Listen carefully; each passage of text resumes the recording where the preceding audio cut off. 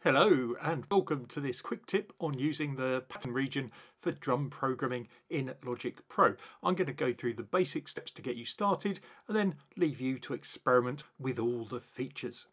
The first thing you need to do is choose a drum kit. This could be electric or acoustic and you can change it later but the sounds might not map correctly from one kit to another so best to get as close to the sound you want to start with.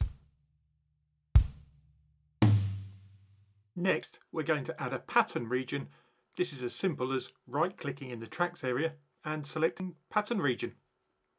Double-click the region to close and open it.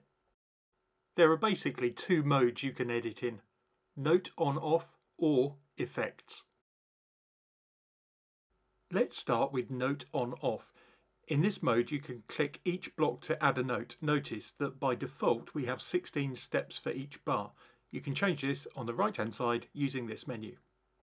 Also notice the pattern region is only showing you one bar of beats, but this has been repeated over four bars as you can see in the tracks area. You can shorten or lengthen this as you would with a MIDI region. Let's add a quick kick and snare pattern. Notice there is a preview button so you don't need to play the whole track to hear your programming efforts. And now 16 note hi-hat hits. Notice you can click and drag to do this. Holding down shift will make sure the mouse stays on that row. Let's have a look at the other type of input you can control. Instead of note on off you can edit for example the velocity of beat by clicking on the cells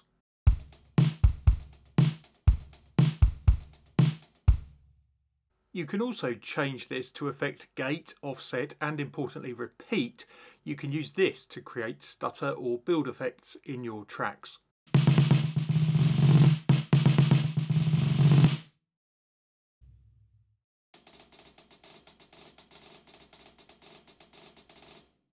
Have a play with the other options to create your own unique sound, including this button, which can change the way the pattern plays through.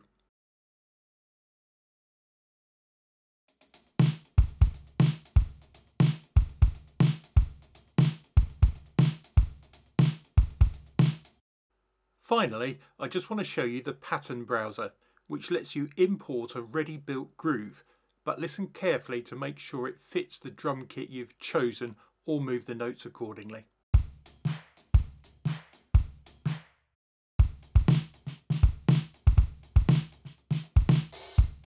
I hope you found that useful. A like and a subscribe is always appreciated and I'll see you in the next video.